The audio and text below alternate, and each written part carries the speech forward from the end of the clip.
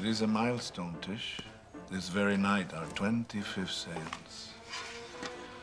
All those years, gnawed by guilt, undone by woe, burning with uncertainty.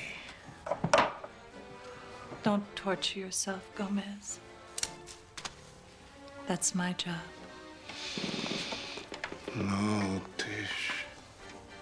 Imagine, darling, if Fester did come back.